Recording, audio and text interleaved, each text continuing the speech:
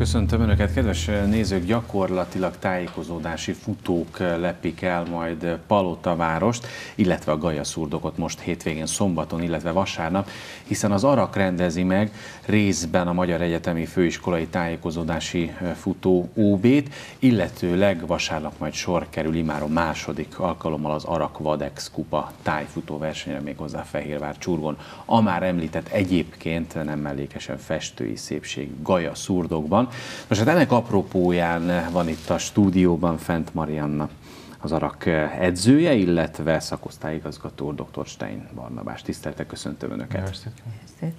Hát mennyire, mennyire nagy mérföldkő ez az ARAK tájékozódási futó szakosztályának életében ez a hétvége?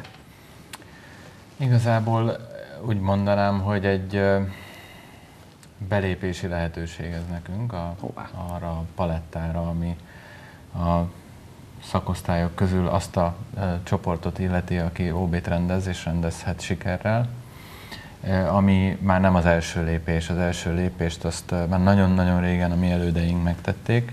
Székesfehérváron a tájékozódási futás tényleg kijelenthető, hogy egy e, komoly e, része volt a sportéletnek videótonban és az Albavolánban működött szakosztály, de 2015 óta, amióta újra szervezzük ezt a szakosztályt, azóta nekünk ez egy tényleg komoly előrelépés.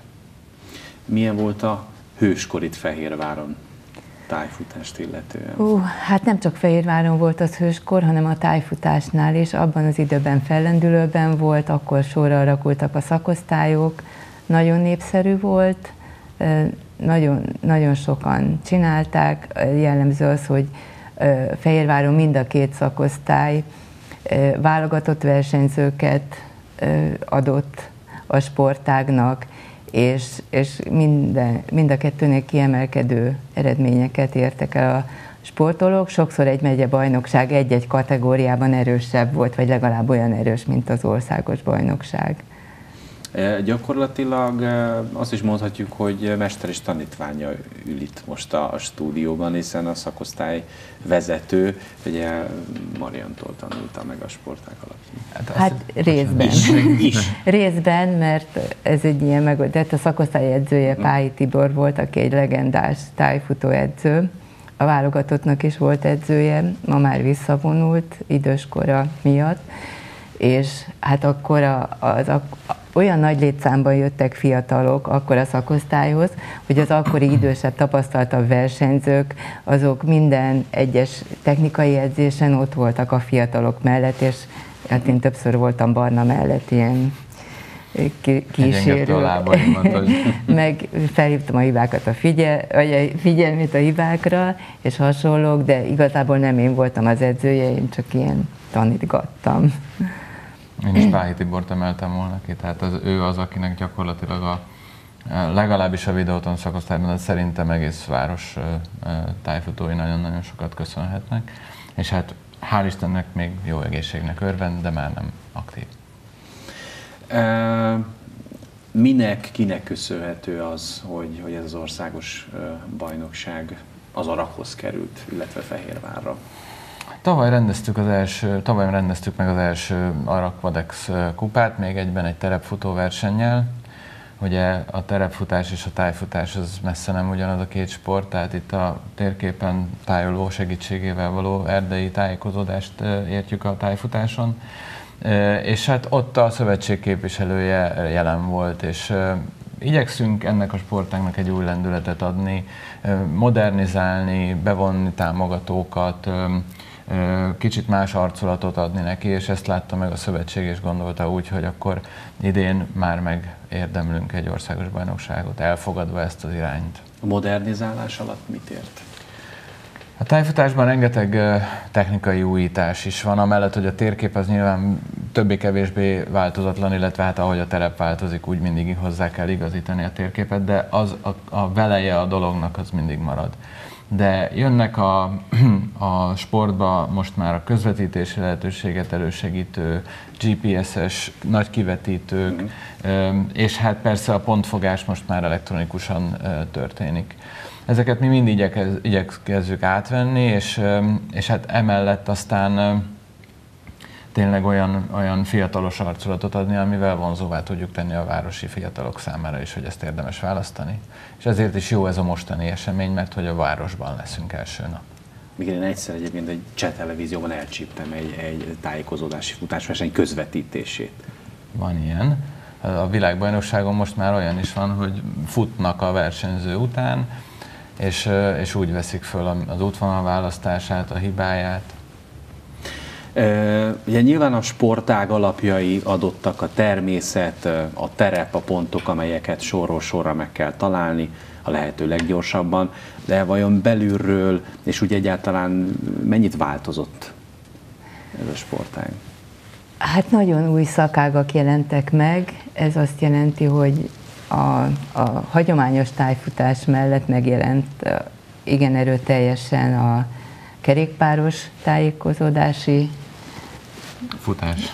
Terep, terepen, tehát ugyanúgy térképpel, útvonalválasztásos, nagyon más, mint a hagyományos, akkor sajnos nálunk most a kevés hó miatt erre nincsen téren nagy lehetőség, de a sítájfutás is igen népszerű nagyon sok helyen, és hát bejöttek az úgynevezett sprint versenyek, aminek az egyik versenyszáma lesz szombaton itt a Palotavárosban, amelyek alapvetően városi, kertvárosi környezetben viszonylag rövid pályák, tehát ilyen 15-20 perces győztes idejű pályák, nagyon sok pontosak, és nem elsősorban a maga a tájékozódás a nehézsége, hanem az, hogy nagyon-nagyon gyorsan kell csinálni. Nagyon sok pont van, nagyon sok éles irányváltás, és nagyon sok útvonalválasztási lehetőség. Szóval ne meg a palota városiak, hogyha futók garmadája jön velük majd szemben szombaton. Szerencsére azért a telep viszonylag nagy, tehát hogy futók garmadája az nem valószínű, hogy bekövetkezik, de lehet találkozni tájfutókkal, sőt, olyannyira, hogy az egyik versenyszám az váltó lesz. Tehát az egyetemi főiskolai bajnokságon indulók, ők váltóversenyen vesznek részt szombat délután. És a szakágakat említette Marianne, én még ki, külön ki is emelnék egy másikat, az, az úgynevezett Trail O, ami egy, nehezen lehet magyar, magyarra fordítani. Ez kifejezetten a kerekesszékkel élőknek, kerekesszéket használóknak találták ki egy tájékozódási versenyforma. Kicsit inkább az akadályversenyre hasonlít, mint hát a, mint a És futásra. sokkal inkább egy hagyományos természetjáróknak, tehát ilyen túraversenyre, mert hogy ott is irányokat kell meghatározni, pontokat kell beazonosítani, tehát a kettő kombinációja, de olyan útvonalon mennek, ahol végig lehet menni kerekesszékkel, viszont a feladat az a tájfutó térképen, és hát nagyon, nagyon komoly technikai felkészültséget igényel, a tájfutó technikait. És hát a legjobbak azok az élmény és a tapasztalat mellett még egy ilyen egy ilyen egészen különleges és elegáns trófeával.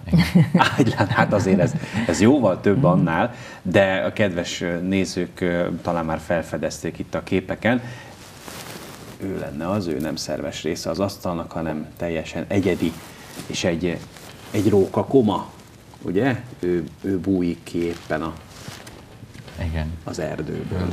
A szakosztályunk kabala állata nagyon szépen körbe tudja sompolyogni a tájfutóbóját, meg az arak logót is, úgyhogy ezért választottuk magunknak.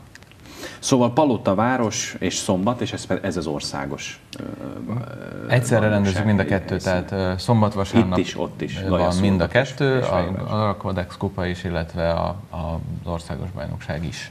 Összesen hány versenyző érkezik az Összességében 500 fölött van most már a nevezettek száma. Hú, az szép, az szép szám. E, és az elejé kezdeti döcögés ellenére a végére elindult, hál' Istennek ez a része is, és azt gondolom, hogy egy teljesen még látványosnak is mondható, ugye azért ez a tájfutásnál kicsit korlátozottan értelmezhető, de versenyt fogunk tudni lebonyolítani. És ugye részben már itt a, a, a, a játékokat említették a, a kerekes széket használó sportolók vonatkozásában, de lesznek játékok a fehérvári fiataloknak, iskolásoknak is. Hát egyrészt versenyt hirdettünk maguknak, az iskoláknak, a középiskoláknak kedvcsináló jelleggel, hogy csapataikat elküldhessék, és közöttük is egy versenyt hirdetünk. Másrészt szintén új forma, most már fél komoly versenyek is vannak benne, az úgynevezett labirintus, ami egy szobányi területen lényegében kordon labirintusban kell tájékozódási futás tevékenységet végezni. Az is egyébként technikailag egy megerőltető és nehéz feladat, könnyű arrébb lépni egy, egy csíkkal, és akkor már is teljesen máshová jut az ember. És, a, és igen, a kerekesszékeseket mi azon is csavarunk egyet, ami, ami így már rendelkezésre áll, hiszen mi szeretnénk őket bevonni abba is, hogy, hogy tényleges futótevékenységet, tehát egy tájfutópályát teljesítsenek. Azt gondoljuk, hogy már van annyira akadálymentes a palotaváros, hogy ez, ez teljesíthető a számukra. Természetesen kísérővel szeretnénk őket kiküldeni, nehogy bármi baj legyen, de úgyhogy egy komplex versenyt szeretnénk rendezni, ahol mindenki megtalálja a számítását. A Gaja szurdokot tavaly már, már belakták, tehát az infrastruktúrát hip-hop oda tudják teremteni? Hát az infrastruktúra, az erdő az ott van mindig. Mármint a hátországot. I- igen. Hát a, a hátországot Hát most annyiból szerencsés, hogy ugyanaz a rajcélterület, tehát nem mhm. tudjuk, hogy hogy kell felépíteni, mi hova fér el. És nehéz a pálya egyébként, mit? Nagyon. Nagyon? Nagyon? Nagyon. Igen, ott olyan meredek hegyoldalak vannak, hogy kifejezetten vissza kell fogni a távokat mert, és ugye ezek az, ezek az emelkedők, ezek nem ösvényel ellátottak, hanem sokszor keresztbe, sziklamezőn, kőmezőn, árkombokron.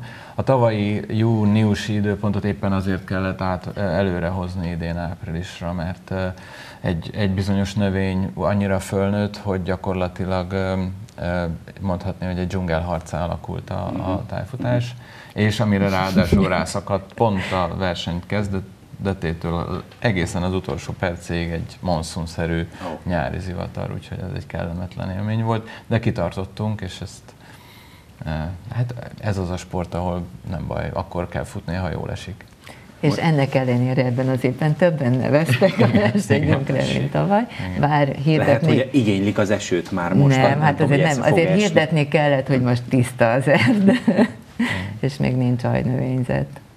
Szóval melós, nehéz, nehéz kis pálya ez a gajaszúrtok ezek szerint. Hát a, a, azok a versenyzők, akik úgy szagolgatják a tájfutást, ők mindig azt szokták mondani, hogy hát ide nekem az oroszlán, hát az a pálya, nem tudom, egy 8 kötője, 10 kilométer, az, én futok egyébként 15 és 20 tehát a tájfut, aztán utána az első pályájuknak a felénél jönnek rá, hogy ja, hát ez egy teljesen más műfaj.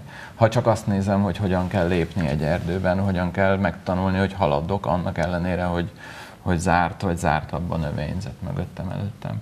És hát egyébként fizikailag is ugye az, az nagyon nem mindegy, hogy egy emelkedőn egy ösvényen megy föl az ember, vagy egy avaros, csúszós talajon küzdi föl magát előre. Próbálta?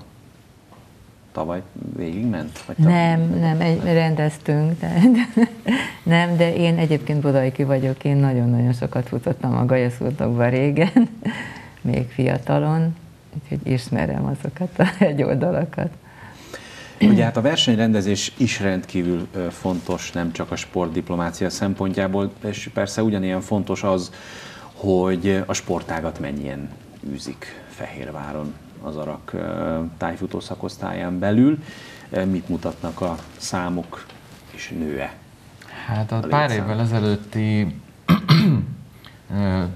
5 kötője, 10 aktív főből most már 50 aktív tájfutó, kicsi és nagy, tehát ebben az újra aktivizált idősebbek is benne vannak, és egy jelentős büszkeségünk az utánpótlás csoport, tehát azért gyerekek hallanak róla, és, és csatlakoznak hozzánk.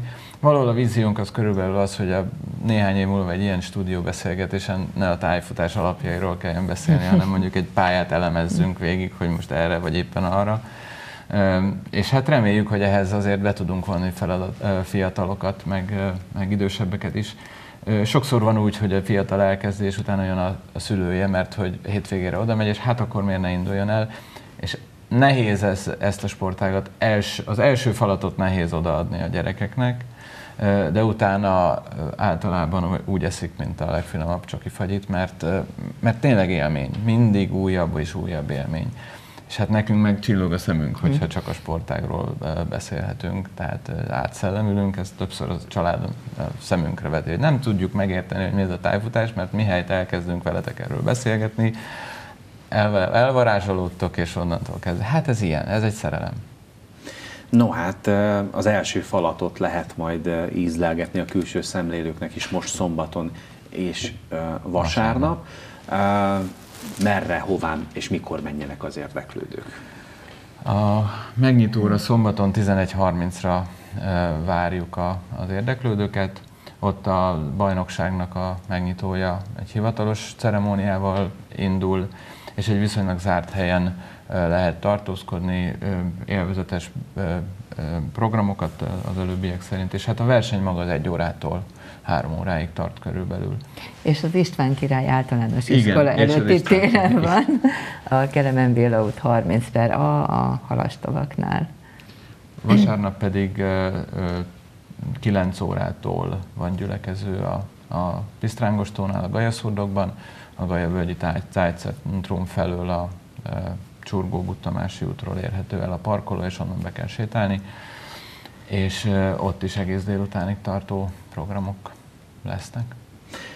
Hát sok sikert a rendezéshez, és, és egyáltalán a szakosztály működéséhez, és hát bízunk benne, hogy minél előbb eljön majd az az idő, amikor már nem a, a tájfutás népszerűsítéséről beszélgetünk csak, hanem, hanem a részletekről is, és jelentse ez azt, hogy mindegyre több Fehérvár és környékbeli csatlakozik önökhöz. Köszönöm szépen a beszélgetést, köszönöm, hogy eljöttek. Kedves nézőink, még mindig maradunk az Araknál, az Arak aktívval folytatjuk. Tudják, ez az a rendezvény sorozat, tömegsport sorozat, amely rendszeresen megjelenik a székesfehérvári iskolásokban. A Munkácsi iskolában jártunk. Következzen most ez. Egy napsütéses tavaszi reggelen valami készült a Munkácsi Mihály általános iskola tornatermében. Előkerültek a bóják, a kislabdák és a szivacsok. A kíváncsi szemek számára is egyértelművé vált. Megérkezett az arakaktív. Utolsó előtti fordulónál tartunk, és már 9 helyszínen túl vagyunk, összesen 11 iskola versenyez idén a versenysorozatban.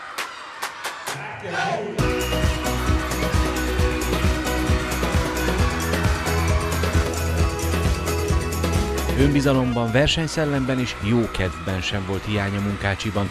A feladatok ezúttal is a fuss, ugorj, dobj jelmondat szellemiségét tükrözték, a szurkolók sem hiányoztak, a munkács is kemény mag is kitak magáért.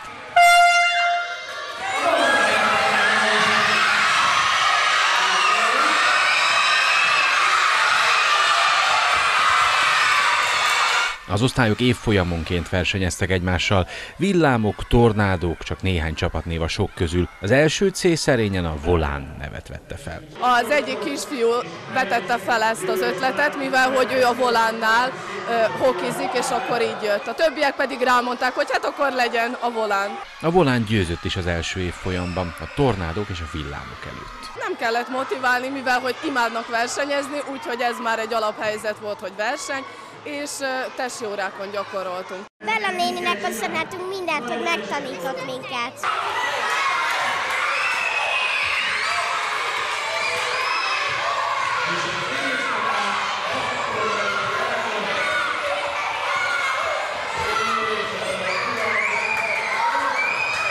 Melyik feladat volt a legnehezebb? Semmelyik pedig volt bőven. Mindegyik feladatban egymásnak adták a stafétát a csapattagok. Volt feladat, ahol akadály alatt kellett átsuhanni, volt, ahol meg kellett ugrani, és persze a dobás sem maradt el. Az utolsó verseny száma kislabda hajítással nagy fordulatokat rejtegetett magában. Aki ezt a számot jól teljesítette, akár a végső győzelmet is megszerezhette. A munkácsiban ennek ellenére előfordult, hogy csak 10 másodpercek választottak el két osztályt egymástól.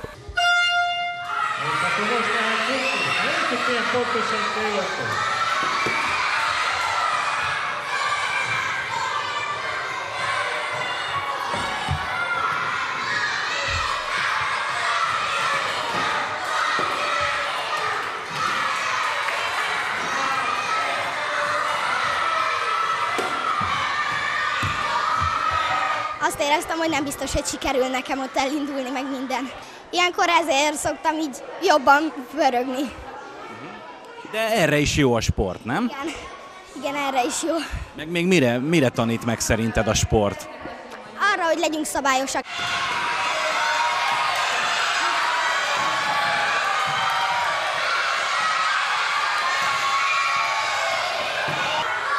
Ez jó kis meccs volt most a másik csapattal, jó kis nemes küzdelem volt. Hol érezted, hogy, hogy, hogy nyerhettek?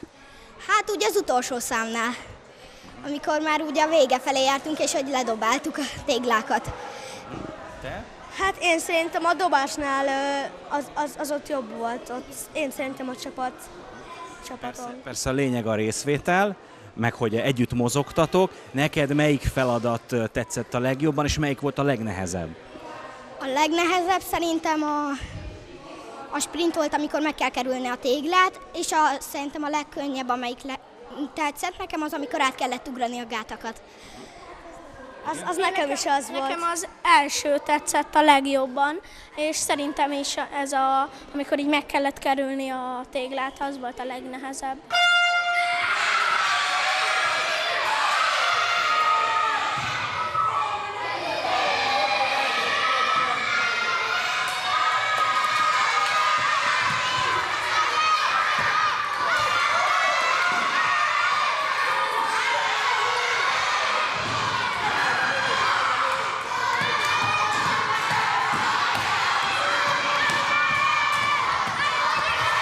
Úgy látom, hogy rendkívül motiváltak uh, itt a, a munkácsiban a gyerekek. Ez az általános tapasztalat? Mindenhol, mindenhol. Ugyanolyan lelkesedéssel már nyolcadik évet csinálják a gyerekek a feladatot.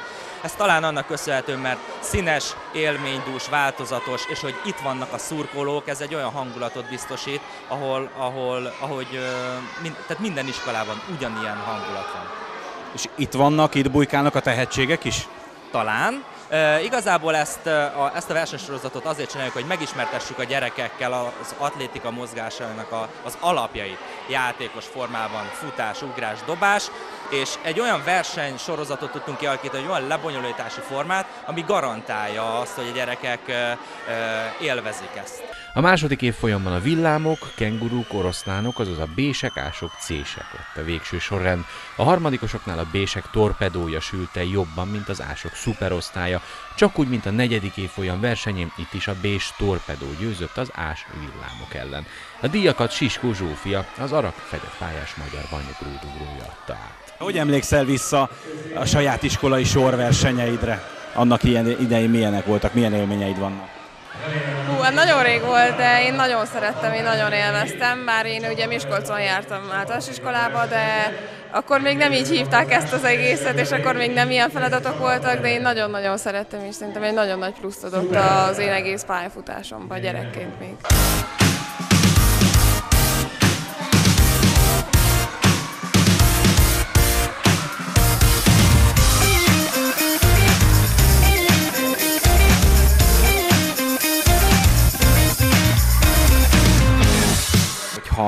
Holnaptól sportolók lennétek, akkor melyik sportágat választanátok? Én focista lennék, biztosan. Én, én amerikai focista. Én focista vagy kosaras. És atlétikát kiválasztaná? Hát, nagyjából. Szeretem. Nagyjából én is, szere, én is szeretem. A munkás is izgalmak után közeleg az Arak Aktív áprilisi városi döntője, ahol az iskolák alsó tagozatos évfolyamainak válogatottjai szerepelnek majd. Az Arak Aktív szezonja tavasszal 11 iskola tornatermében 111 osztály diákjait mozgatta meg.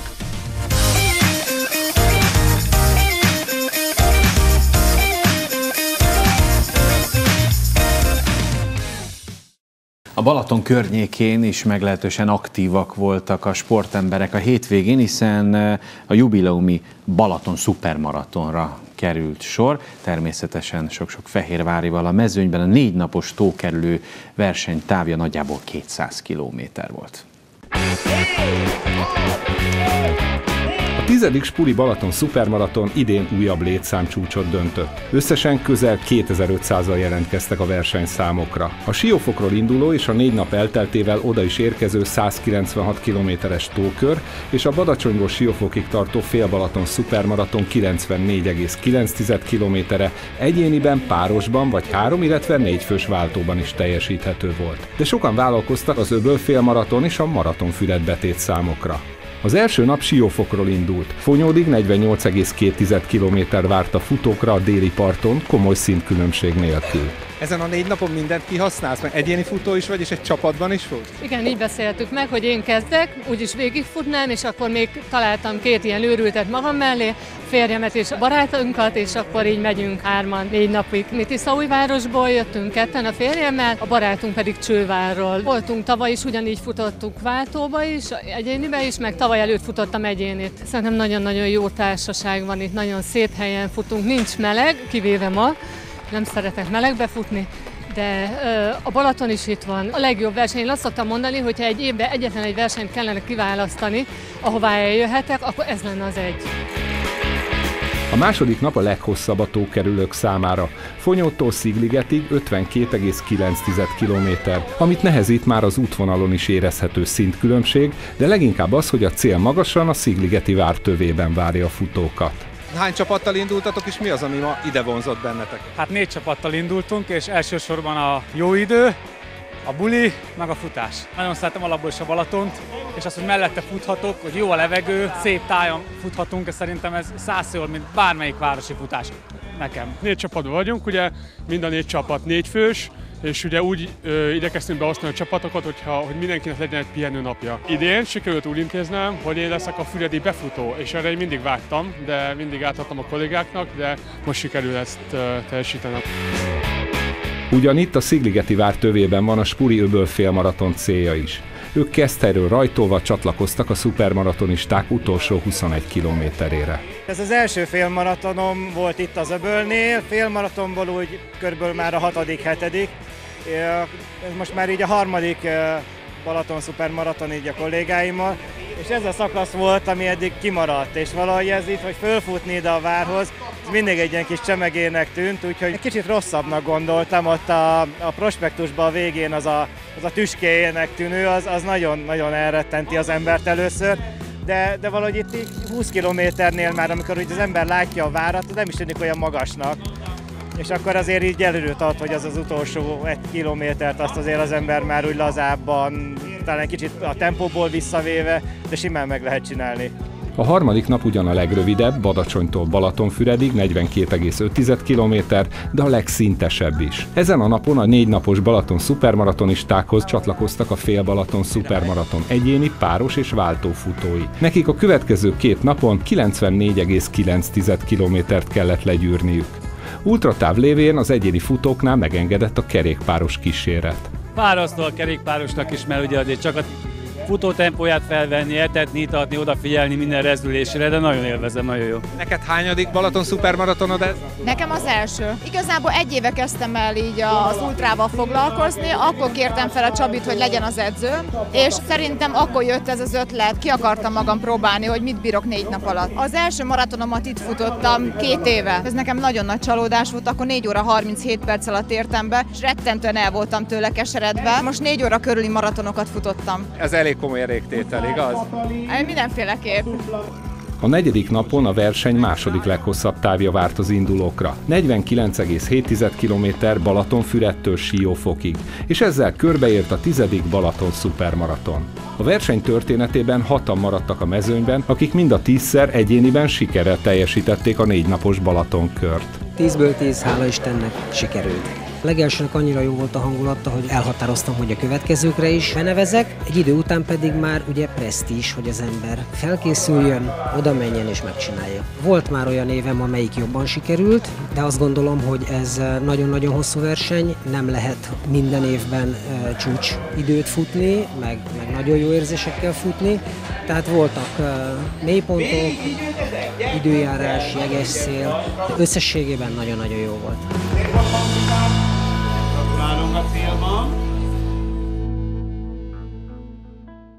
Kedves nézőink, ennyi fért a Bajnokok Városa mai adásába. Munkatársaim nevében is köszönöm meg tisztelő figyelmüket. Viszontlátásra!